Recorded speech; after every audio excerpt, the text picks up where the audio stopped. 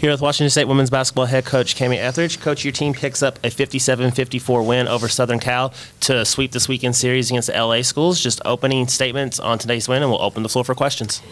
Well, obviously, I, I say it every time. We, we, win. You're just thrilled when you win. You know how hard it is. I, I thought we, we played a really, really good first half. Um, I thought it hurt us when we had to take Yo out, and I'm, I wasn't afraid to put her back in in the first half when she picked up two fouls. It's just we seemed to be getting great looks, and, and we were scoring well, and we were building on that lead, so I, I kept her on the bench. I don't know if that affected her, you know, kind of in the second half as far as just when you're in a groove and your coach doesn't let you go back in for a while. But uh, I thought our first half obviously won the game for us. You know, we, we really played well. We built the lead. Um, and you know the I and we'll have to look at the film and, and see what's out there. But I, I, I really did think we got some really great looks in the in the third and fourth quarters. Uh, things I told the team, you know, looks that we have to take, and if we're going to beat really all the best teams or anyone that we play, we have to make those shots that because that's what that's what we're getting and, and that's what I think we're capable of. First half we made them, second half it went a little bit dry, but um, I thought our team just was uh, poised enough at the end of the game to find a way to win a, a hard-fought game and a and a, you know a tough matchup for us. Open the floor up for questions. We'll start Jamie Vinnick, Coug fan. Go ahead, Jamie. Coach, uh, first off, congrats on the win. Thank you. Uh, I think Bella had maybe one of the biggest impacts of the game. You know, she she gets 15, she's completely dominating the paint. She gets that third foul, and they start to score in the paint. Comes back in, ends up plus 14 in the three point game. I mean, how impactful, especially against the likes of of uh, of Jenkins and Pili and Marshall, and just that really good front court. How impactful was Bella? You know, the, especially on the defensive end today. Yeah, I, and I thought rebounding. Uh, you know, she ends up with eight. It felt like more than that, but.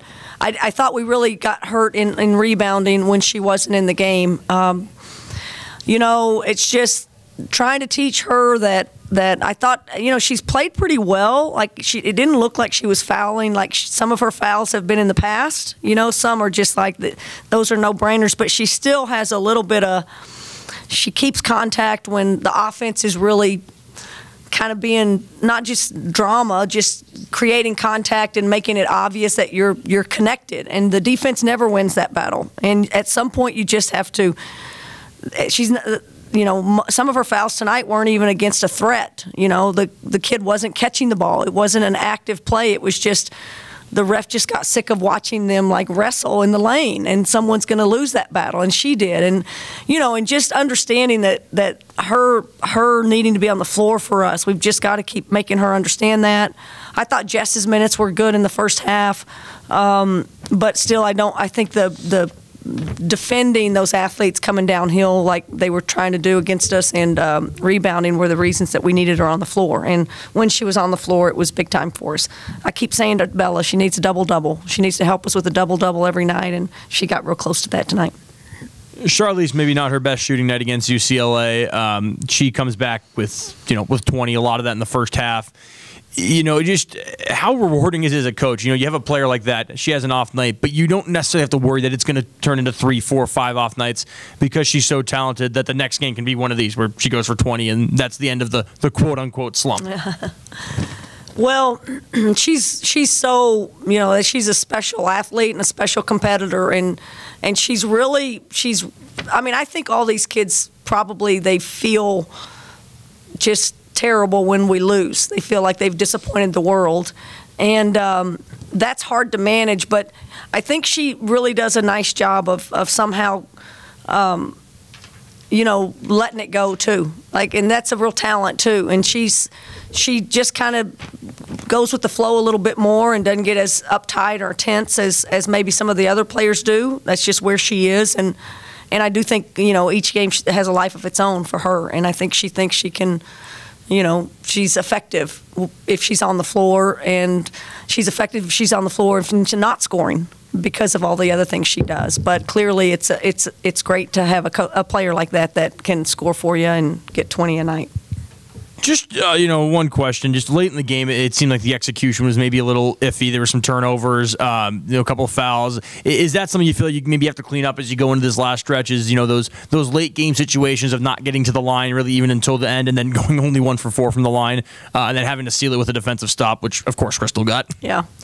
Oh, I think we have to keep cleaning up everything. I thought, um, you know, maybe some play calling, which relied too much on the three point shot. Um, took some early threes, but again, um, you're not. It, we are what we are, and and um, you know, on a night when Krystal doesn't make any shots really, and Ula doesn't really either, you know, you got to put the ball in the hands of the people that that seem to to really be making plays at the rim and behind the three point line. So it's a great night to have uh, Bella and, and Yo and and Charlisse do what they did, but there's absolutely no question you know, learning from this, um, uh, and and being better, you know, and and gosh, you're right. I wish we could get to the line more. Maybe that's just lack of the the play calls that that didn't make didn't get the physicality that they were getting on the other end. Those are everything is is up for debate, and, and we have to fix and we have to be better because of that. But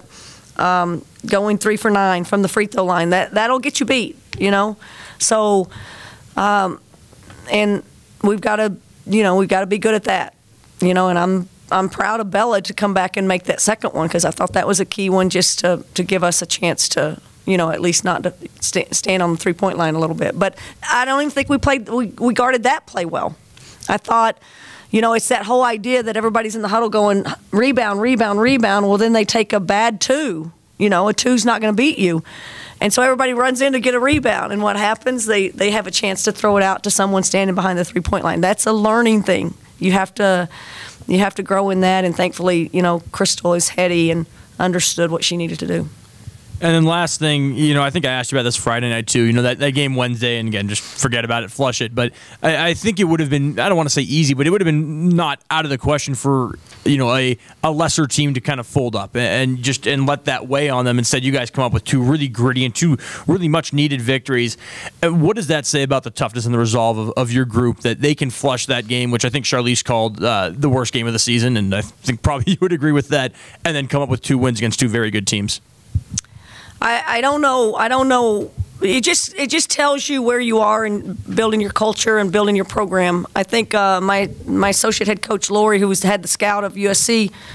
I mean, we sat in that locker room tonight, and and it may be the first time ever that we're supposed to win this game. Like the the world, maybe the world still doesn't think we're supposed to, but the reality is is that locker room thinks it, and and the standings kind of say it and that's a that's we've gone places. We've we've grown in so many ways where, you know, we're considered, you know, a pretty good team and a pretty good program. So it just goes from that. Your question is is right on. We're we've we've we've grown a lot in our toughness, in our resiliency, in our um, uh, you know the chemistry that we have, the the competitiveness that we bring on a day to day basis. Um, and and you know, and part of that is when adversity hits and when you're not very good, you know, you got to own it and you got to just play through it. And then if it's something as drastic as that game was, which it was for all of us and devastating, you just you yeah you flush it. You move on and you try to grow from it, and you know that you can be better the next night. And I just I give this team a lot of credit. Um, and give these players a lot of credit because they're they they can do that, and they've they've shown that they can do that, and we've got to continue to, to be to to grow that in our program. Luke Kilgore from KUGR. Go ahead, Luke. Uh, Kamie, congratulations on the win. Thanks. Definitely a, a, nail biter. As it's been a tumultuous week. I know Jamie uh, kind of alluded and asked about that too. Um, going from a, a, big low to a, a, big high on Friday, how did the mindset of the locker room just kind of change throughout the week? And and how are you guys feeling preparing for this game after the nail biter on Friday? Yeah, I mean, again, I think the the Wednesday game, because it was three games in a row, it almost it, that's the beauty of that game. Like we didn't have time if if it had been a Sunday game, we would have watched so much of that film that the team would have been just depressed, you know. But because that was just a, you had one day to get ready for the next team, twi- you know, for all three games, you just you had to move on. So I just think our team turned a page after that that Oregon game and got really really focused. I thought UCLA was really good, and uh, we had to play a, a really tough uh, and competitive game and stay with it in that game. Obviously, the the the the coming back after getting losing a lead, you know, showed some signs of, of our growth and where we're going as a program. That was just huge for us to win that game in the way that we did, and then to emotionally not not stay there and know that you've got an unbelievably, um, you know, you know, just a talented team that can come in here and beat you any way imaginable. And and how are you going to do that on a 12 o'clock game? So. Um, you know, I'm glad we don't have any more three game weeks. I think we need, you know, a little bit more rest and uh, getting back to that. Uh, but I just think we handled that whole week, you know, pretty amazingly. And um, again, players that play a lot of minutes, they they found a way to, to get us to two and one this week. And, and I think we grew a lot in uh, what we think we can be as a team. And for Krystal, um, only one point on the on the afternoon, uh, but makes the game-saving steal as she also made the game-winning bucket and free throw on Friday. Um, how do you think? And, and they talk about a, a lot about how some players just know how to win. Uh, what do you think about Krystal's ability to stay composed? She's been in the NCAA tournament. Uh, do you think that, helps her ability when it comes down to these pressure situations? Yeah, I mean, it, she was raised to be in these moments. You know, her mom was was taking her into FIBA international competitions when she was couldn't walk probably all the way up. So uh, the mindset and the competitiveness and the IQ and uh, the leadership that she has, I think she's always had that. She's had to grow it and and get to know and, and have great relationships with her teammates to be able to bring them along. But she is a great voice. She is a great voice in huddles. Charlisse, too. Um, she is a great voice in the locker room. She's been through a lot. And um, there's not very many situations where she's she's never saying the wrong things, you know, and that that is the super senior and that's her mindset. And she is a, a, really special player that I've been fortunate enough to coach as long as I've been able to. Awesome. And uh, you kind of sang the praises of Johanna Teder earlier, um, having to bench her at some key moments when she was l- looking pretty pretty hot from the field. Um, when the three point shots weren't falling in the second half, she seemed to take a different approach and try to drive inside and took that mid range jumper that ended up falling. Um, as someone who is mostly known as your sharpshooter, excuse me, seems like she really kind of took control and, and made the right calls there to go on the interior instead. No, and I thought she had a great little pocket pass to Bella on one of those. Again, people really have to go over on her. They can't go under screens. Uh, she needs to get good at, at, at making those reads. Can she get her own shot at the rim? Can she make a little drop pass to a post that's coming down down downhill, or that pull up? You know, it's not probably her favorite shot, but she's more than capable of making it.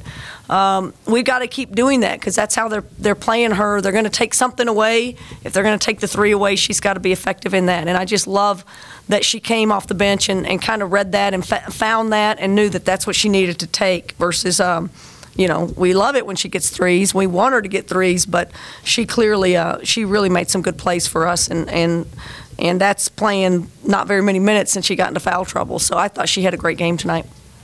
And uh, just last question here. Charlisse uh, and Ula both played 40 minutes today. We know how Charlisse can impact the game in, in a variety of ways and lead this team.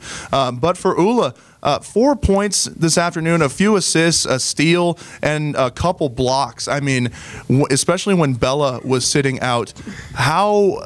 I mean, how good do you feel about Ula to be reliable and to just kind of play defense wherever and just impact the game? Yeah, it is so important for our team. She, she, uh, I think you hit it. Like I keep saying it, Ula is a calming factor for our team. Everybody wants to be on her team. She, she just has a way to make the offense better calm us, and and and she does whatever we need her to do.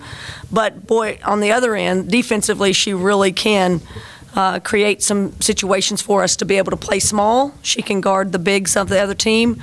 She could match up with Pili and, and not let Pili get to her sweet spot. Um, you know, and, and again, her IQ and her, you know, understanding a scout and relaying that and being the voice that she is, um, it, she's another one. She's another one. Like if she's not scoring, it doesn't matter. She's doing everything else imaginable to help us win.